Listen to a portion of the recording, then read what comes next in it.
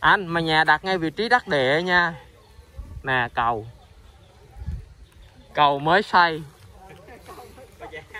Nhà này có giá lắm chứ bộ. Nè. Cái này là phương tiện giao thông đi lại là thuận tiện nè. Nhà ngay đường lớn nữa. Đó. Coi kìa. Số hưởng luôn á. Đúng là giàu hơn nhà mình thật. Mày ơi về. Về. Anh cái nhà đó ngon ha. Nè nhà ra cầu lớn luôn. À, gần cầu ngon. Trời ơi.